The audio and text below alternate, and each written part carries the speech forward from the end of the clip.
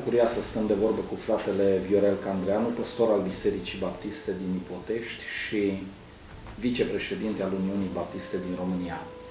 Frate Viorel, aș vrea să vă întreb ce vă mai aduceți aminte din momentul în care Dumnezeu v-a chemat la mântuire. Cum s-a produs mântuirea sufletului dumneavoastră? Am avut harul să mă nasc într-o familie de credincioși baptiști. Sunt primul copil dintr-o familie cu opt copii. M-am născut în Negreni,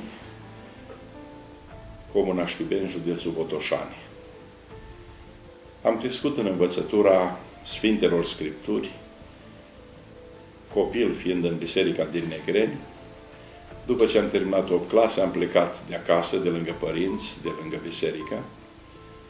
Am ajuns într-o zonă unde aveam posibilitatea să vizitez o biserică creștină după Evanghelie, undeva în județul Brașov. Însă, după terminarea școlii profesionale, ă, meseria care a trebuit să o învăț era potrivit cu posibilitatea de a reuși la o școală. Nu cu ceea ce aveam de gând și cu ceea ce îmi plăcea să fac. Ă, am făcut școala profesională de strungari, nu îmi plăcea să stau lângă o simplă mașină, eram un om de comunicare, îmi plăcea să călătoresc, aș fi vrut să intru în discuție, să intru în dialog cu mai mulți oameni. Lucrul ăsta m-a făcut să las uzina unde trebuia să uh, îndeplinesc ani de contract în urma cheltuierilor făcute la școala profesională. Și atunci am lucrat în județul Timiș și apoi am plecat pe malul mării la Constanța. Uh, am practicat o muncă, ca să zic așa, de zilier și în timpul ăsta m-am îndepărtat și de părinți, și de Dumnezeu, și de biserică și am ajuns să trăiesc ca un tânăr în lumea păcătoasă. A venit însă ordinul de recrutare și în sfârșit cei care mă căutau să mă ia în armată au reușit să mă găsească. În momentul când am intrat în armată, Dumnezeu așa a condus lucrurile încât în timpul serviciului militar, în prima parte a serviciului militar, a trebuit să îngenunchez înaintea lui Dumnezeu, să-mi cer iertare pentru tot ce am făcut și să mă hotărăsc să-L urmez pe Domnul. Asta s-a întâmplat și datorită faptului că am primit o scrisoare de la părinți de acasă, în care eram anunțat că frații mei mai tineri, cu patru ani și cu doi ani mai mici decât mine, au luat deja botezul și apoi era acolo pur și simplu chemarea lui Dumnezeu prin scrisoarea scrisă de mama mea, în urma acestei scrisori și în urma situației care s-a conturat în relațiile mele cu ofițerii din armată și toate, am hotărât în sfârșit să capitulez și m-am hotărât pentru Domnul. Când și în ce împrejurări va chema Dumnezeu la lucrare? De mic copil, mi-aduc aminte că eram atent la ceea ce predicau păstorii în biserica din Negreni. Fratele Vasile Brânzei era cel care vizita Negreniu pentru că acolo s-a născut și el, a fost coleg de școală, coleg de bancă, prieten cu tata, avea această dorință să-și vadă locul natal, venea câteodată și țin minte că prima dată gândul că aș putea să fiu și eu un predicator a fost atunci când l-am auzit pe el predicând. În timpul ce eram departe de Dumnezeu, ă, după ani de școală, cât am lucrat în uzină sau după ce n-am mai lucrat în uzina de în județul Brașov, ă, aveam ocazia să stau de vorbă cu oamenii, ă, uneori participam la ședințele pe care le aveam pe linie de producție și așa mai departe, probleme de sindicat și toți mă încurajau ca eu să iau cuvântul pentru că știam, știau că la un moment dat punctez niște probleme cu care ne confruntam ca muncitori și așa mai departe. Uh, însă, după ce m-am întors la Domnul, în timpul armatei, în uh, timpul concediului din serviciu militar am luat botezul, torcându-mă la Botoșani. Uh, după terminarea serviciului militar, în Biserica Creștină după Evanghelie din Tohanul Vechi, din județul Brașov, unde frecventam după armată, întorcându-mă uzină, am fost îndemnat să iau cuvântul. Și am început în felul ăsta să am câte un cuvânt mai scurt, apoi am hotărât uh, să mă căsătoresc, soția mea fiind tot din satul Negrem, de la creștin după Evanghelie, ne-am întâlnit împreună în adunarea din Tohanul Vechi din Brașov, am hotărât să ne căsătorim, ne-am căsătorit, ne-am întors la Botoșani. La Botoșani, frații din biserică m-au îndemnat să slujesc la cuvânt.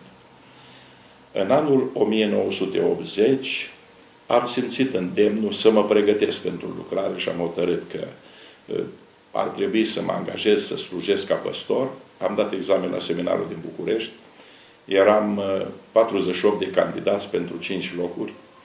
Bineînțeles că n-am, n-am intrat, deja era hotărât între frați care vor fi cei cinci care să intre, după care se trăgea nădejde că se vor mai oferi niște posibilități de a intra mai mulți studenți, nu s-a reușit, dar după o lună de zile, un grup de frați păstori, fratele Pascu Geabău, Ștefănuț Iosif, Taloș Vasile, Brânzei Vasile, cine mai era sărac, Iosif, au hotărât să înceapă un seminar underground. Deci în secret. Și am început să ne întâlnim vreo 10 tineri împreună cu acești frați. Ne întâlneam la biserica de pe strada Poparusu din București.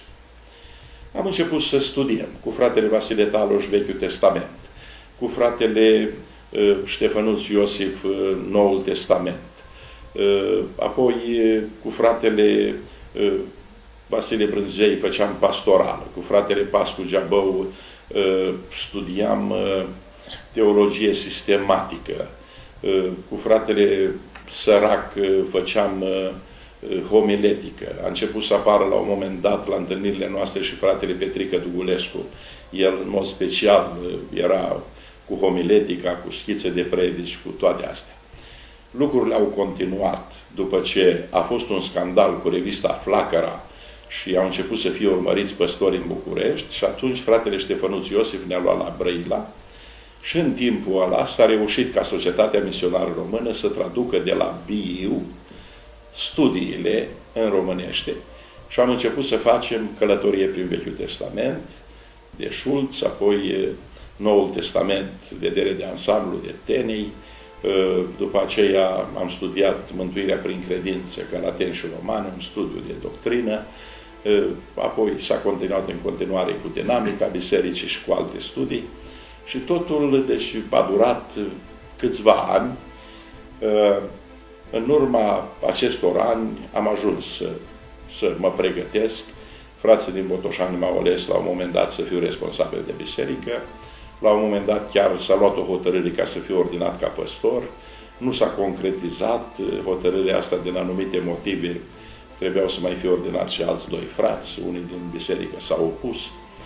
Și în anul 1984, Biserica Baptistă din Ipotești niște oameni de curaj, hotărâți, m-au, uh, au venit la Botoșani, câțiva din ei m-au ascultat, m-au contactat, au discutat, fratele Chibiș și Samuel au luat legătura cu fratele Ștefănuț, au discutat împreună și pe 12 februarie 1984 am fost ordinat ca păstor al Bisericii Baptiste din Ipotești și de 31 de ani slujiți în aceeași Deci sunt în al 32-lea an, acum aș putea să spun, slujesc în aceeași biserică ca păstor. În timpul ăsta s-au schimbat lucrurile, a venit Revoluția, ă, s-a format comunitatea de Suceava, despărțându-ne de București. Am slujit ă, patru mandate ca președinte al comunității de Suceava, după aceea ă, două mandate ca vicepreședinte la comunitatea din Suceava, și apoi am fost ales să slujesc și la Uniune și așa mai departe. Care a fost cel mai dificil lucru pentru un păstor în perioada regimului comunist?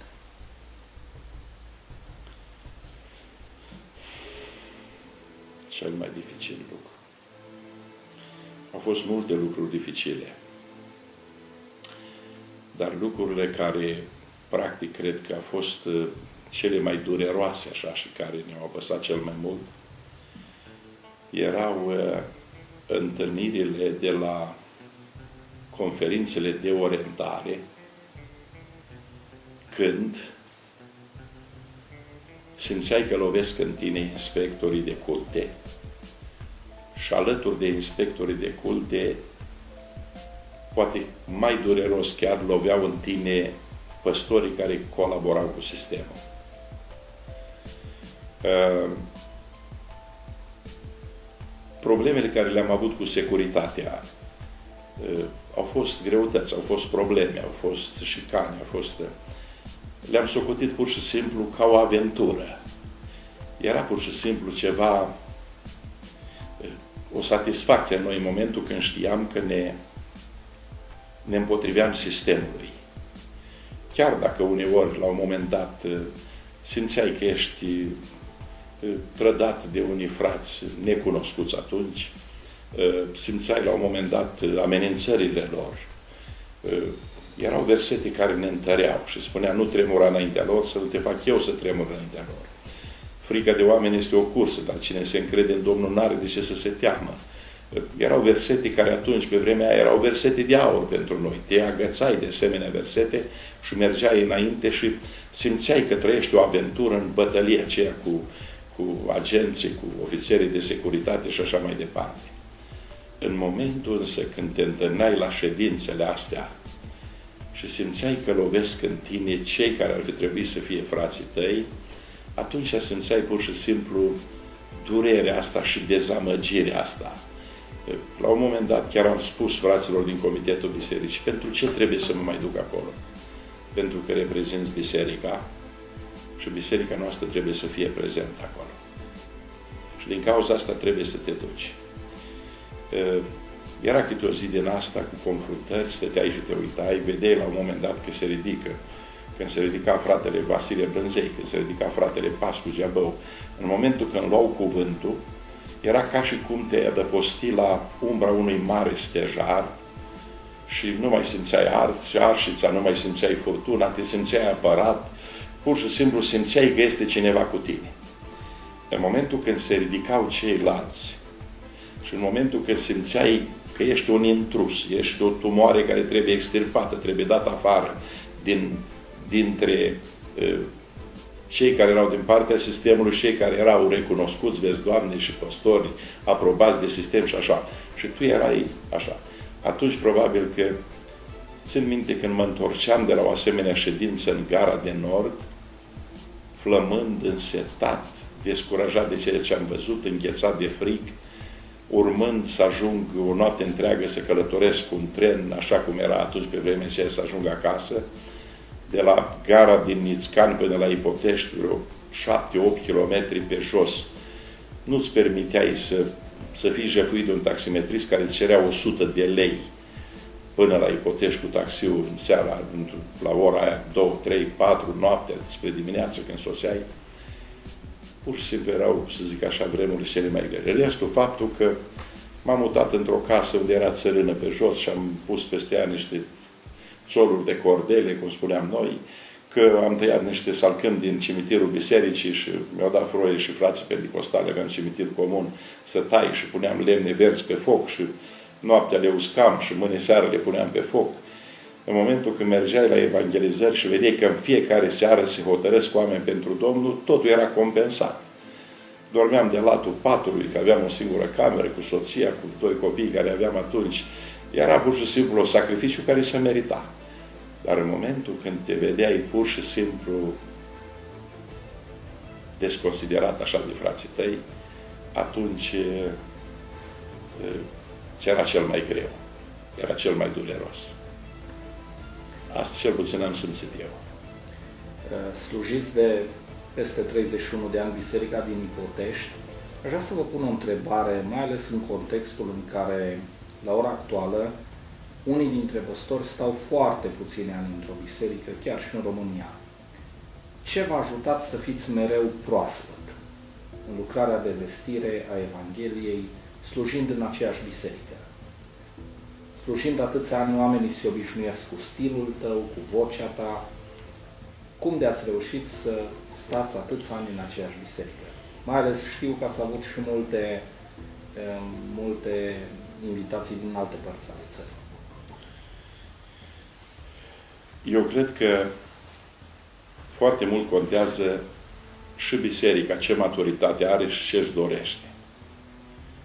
În momentul când spuneam bisericii, domnule, nu credeți că este prea mult, sunt deja la voi de 20 de ani, ei spuneau, frate, nu-i prea mult, pentru că noi, pentru Dumnezeu, cel puțin 20 de ani ne-am rugat.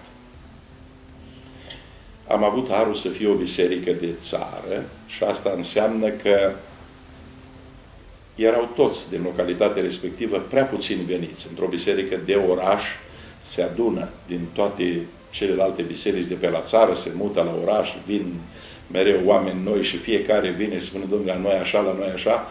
Cum spunea fratele Curi Simeon, zice, e, rău, e greu să zidești o clădire din cărămizi de demolări. Adică să le iei din alte clădiri și să le pui din nou la oaltă într-o altă clădire. Fiecare are altă dimensiune, are sechele, mai rămășițe din mortarul de acasă, din asta cineva spunea, zice, seteleu, adică Sfânta Tradiție locală. Și fiecare, la noi așa se făcea și era greu. Ca să zic așa, ca prospețime. Am ales, de exemplu, la un moment dat să predic dintr-o anumită carte din Scriptură. Am trecut prin epistola către evrei am trecut prin epistola către romani, am predicat din cartea lui Ezra, din cartea lui Nemia, am uh, predicat din cartea Proverbelor, am uh, predicat din Eclesiastul, am predicat din uh, Apocalipsa, am luat câte o carte și am mers încercând să-L descoper pe Domnul Isus, să descoper planul, lucrarea de mântuire, implicația, principiile pe care Dumnezeu le-a pus acolo pentru viața noastră de credință, Asta a făcut într-adevăr să fie prospețime, să zic așa, plus că, pe de altă parte, nu m-am temut niciodată să invit orice slujitor care eram convins că poate să facă o slujire bună, că este oricât de bun predicator, nu m-am simțit eclipsat, complexat de treaba asta, cât am fost posibil, am invitat pe toți. Apoi am făcut înțelegere cu biserica și asta de mulți ani, o duminică pe lună să știe biserica că eu lipsesc. Atunci răspundeam la chemări, la invitațiile altora, atunci dădeam posibilitate și altora din biserică ca să slujească împreună cu mine. Bineînțeles că după ani de zile a fost nevoie la un moment dat să revin la predici. M-am gândit predica cu tare sau cu tare sau cu tare, probleme importante care trebuiau atacate în biserică, generația asta încă nu le-a auzit. Deja sunt atâția noi care ne-au auzit. Am revenit la ele. Bineînțeles că au apărut informații noi și așa mai departe. De multe ori am avut și, să zic așa, dorința asta personală să mă pun mereu la votul bisericii. În ultimii ani, când s-a schimbat și s-a hotărât cu un comitet să fie ales pentru mai mulți ani, am rămas și eu câteodată, frații spuneau, frate, bine că se termină adunarea general, nu mai întârziem și cu problema asta. Am avut așa dorință, în mod specific, vreau să mă pun la vot secret, vreau să știu. Vreau să simt și o pulsul bisericii și așa mai departe. Eu cred că și omenia contează și faptul că la un moment dat uh, te relaționezi așa cum trebuie. Ești pur și simplu la nivelul turmei, nu te ridici la o înălțime la care să nu se mai ajungă la tine. Și cred că asta m-a ajutat. Dincolo de toate astea, cred că e purtarea de grijă a lui Dumnezeu. Sunteți cotat ca fiind unul dintre cei mai buni evangeliști din țară și mereu și mereu bisericile vă invită să participați la săptămânile de evangelizare. Aș vrea să vă rog pentru un păstor tânăr, fără prea multă experiență, să-mi spuneți care sunt pașii pregătirii unei predici. Cum procedați dumneavoastră în mod practic la pregătirea unui mesaj? Cel mai ușor la pregătirea unui mesaj pentru mine a fost să las textul să-mi vorbească. Deci, poate mai rar am predicat predici subiective. Cred că mai mult am predicat predici expozitive. Am dus într-un text, am luat de exemplu Vechiul Testament și am găsit că în galeria Vechiului Testament pot să găsesc personaje în viața cărora a fost momente importante, momente de impact în lucrarea și în planul lui Dumnezeu cu privire la viața lor, și atunci am multe predici legate de personaje din Vechiul Testament. Am văzut multe suflete întorcându-se la Domnul, de exemplu, predicând despre Rahav.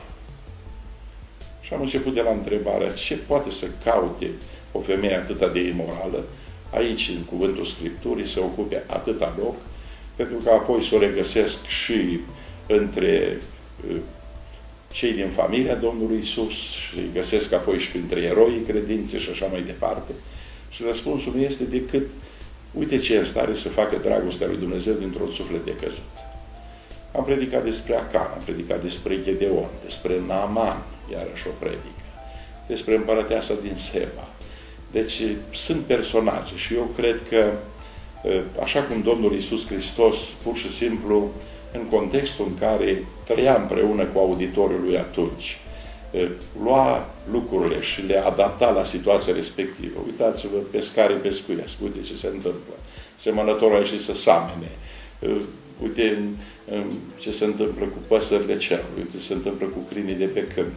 Deci, cred că când e vorba despre un evanghelist, el, dincolo de faptul că trebuie să aibă, să zic așa, o structură doctrinală în mesaj, în predica pe care o are, el trebuie să fie cât se poate de, de plastic și să fie cât se poate pur și simplu de realist. Să adapteze textul respectiv la situație, la confruntările vremii și așa mai departe. Pentru mine asta a fost. M-am uitat în text, am lăsat ca textul să-mi vorbească, să, să-mi spună ce are de spus.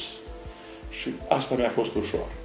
În momentul când am luat un subiect și am încercat, mi-a fost mai greu, practic, să predic din subiectul respectiv. Am găsit în Vechiul Testament dreptul ăsta de a spiritualiza, văzându-l pe Apostolul Pavel, că spune despre stânca din pustie, că spune despre muntele cu tare, că înseamnă cu tare. Deci am avut posibilitate să zic să folosesc și să adaptez textul ăsta, dar întotdeauna am văzut în Vechiul Testament o prefigurare a unor învățături aplicabile la Biserica Nou Testamentală, am folosit de lucrul ăsta.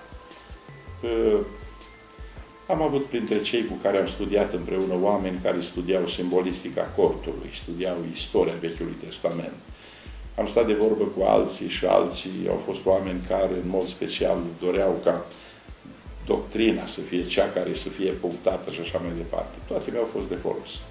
În ultimii 12 ani ați fost uh, vicepreședinte al Uniunii uh, cu responsabilități în domeniul misionar.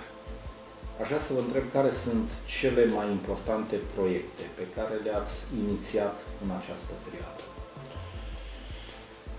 Um, n-aș putea să spun că am fost, să zic așa, un strateg uh, deosebit de priceput în poziția asta de vicepreședinte cu misiunea ajutat însă de frați, am început în lucrarea aceasta, de exemplu, să dezvoltăm împreună o, să zic așa, o chemare la misiune pentru fiecare păstor, pentru fiecare biserică și prin ei pentru fiecare membru baptist. Am început gândindu-ne la planul ăsta de uh, descoperire, de identificare a unor posibili misionari tineri sau tinere frați sau surori care la un moment dat ar putea să facă o lucrare de misiune. Apoi am stat și ne-am gândit și am încurajat frații la un program de echipare.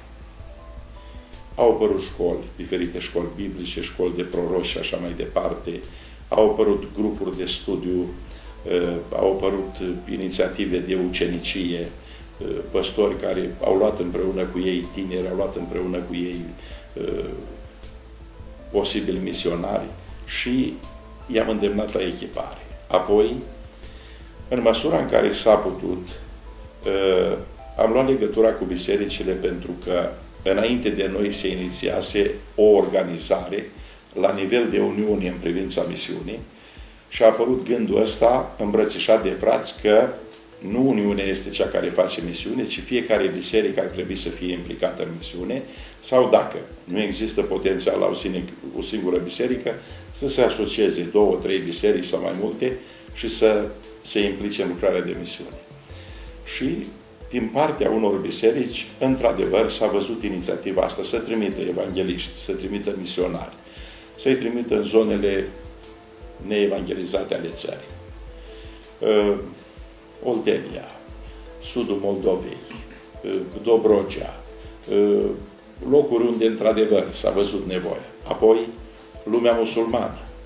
Am avut și asemenea cazuri. Apoi, fostele țări sovietice, uh, care sunt multe din ele, majoritar musulmani și așa mai departe, legătura noastră cu frații de la Chișinău, cu asta ne da posibilitatea să ne putem întinde spre răsărit și să avem misionari să-i susținem chiar.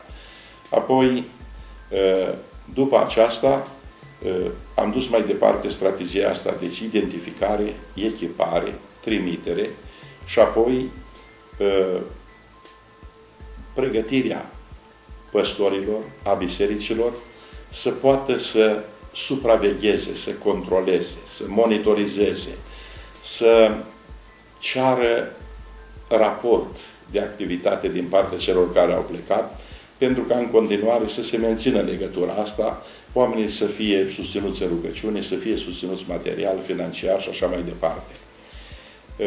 Toate astea au mers până acolo, încât acum, după trecerea acestor mandate, s-a ajuns la concluzia că este nevoie de o agenție națională de misiune.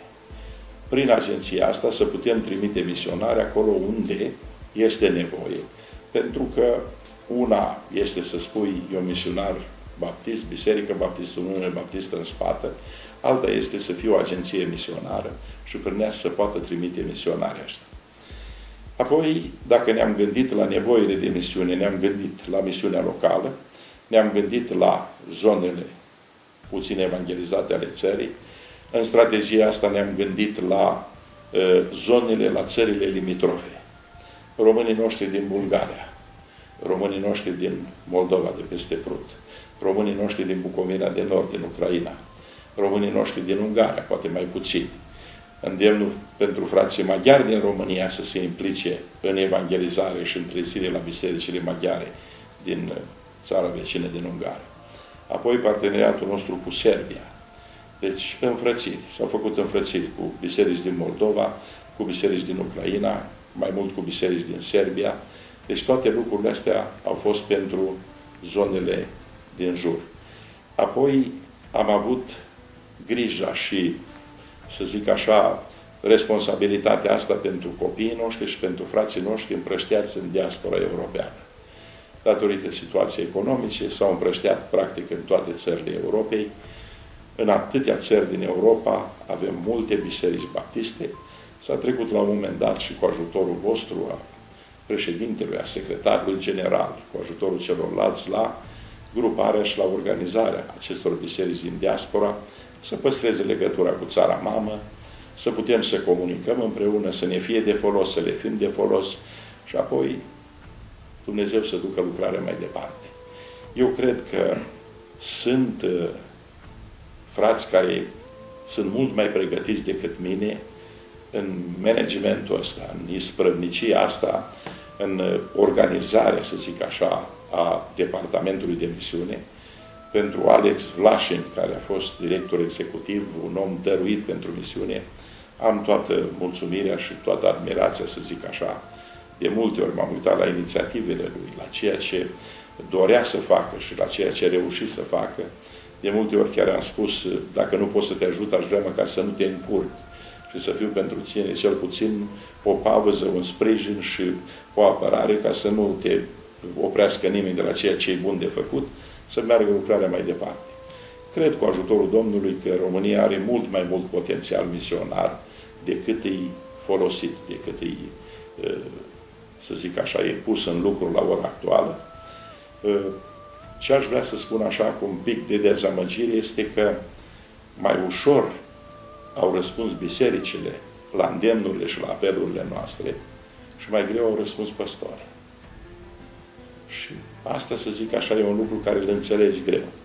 Și aș vrea să asigur pe toți frații păstori este că uh, vor fi mai siguri de poziția lor, de autoritatea lor, chiar de susținerea financiară de care au nevoie, chiar de salariul lor, vor fi mai siguri și mai liniștiți în momentul când vor implica biserica în misiune. O ultimă întrebare. Sunteți unul din oamenii care străbateți țara în lung și lat, din nord în sud, din est în vest. De ce credeți că este nevoie pentru ca baptiștii din România să cunoască o perioadă de revigorare spirituală? Eu cred că la ora actuală avem nevoie de post și rugăciune. Fără post și rugăciune nu vom reuși. Avem nevoie de uh, pocăință. Vis-a-vis de lumea asta, vis-a-vis de modernismul lumii, de liberalismul lumii, de imoralitatea lumii, vis-a-vis de atâtea și atâtea lucruri lumești, care la un moment dat, fără să vrem, poate sau chiar intenționat se întâmplă la un moment dat printre noi, le adoptăm, le luăm, încercăm să le dăm o coloratură de a confesiunii noastre și, așa cum spunea Billy Graham, dispare granița dintre lume și biserică. Dar eu cred că dacă ne întoarcem la post și la rugăciune și dacă în bisericile noastre niște slujitori credincioși își vor face datoria în lucrarea de ucenicie să crească alți slujitori credincioși. Dacă vom înțelege că avem valori de la înaintașii noștri la care nu merită să renunțăm și că ele nu pot fi abandonate de la o generație la alta. Dacă vom încerca să comunicăm cu oamenii, să le transmitem Evanghelia, să le dovedim cu viața că iubim și că dorim într-adevăr mântuirea lor. Cred că există posibilitate de trezire spirituală. Mă uit la alte confesiuni și mă gândesc la viața lor de rugăciune, mă gândesc la faptul că au familii puternice, adică au luat copiii de la Domnul ca un dar și o binecuvântare și mă gândesc la slujitori care au fost gata să jertfească, au fost gata să dedice întreaga viață în slujire. Și au făcut-o cu dăruire. Și asta aduce propășire. Au făcut-o și înaintașii noștri, am avut vremurile noastre.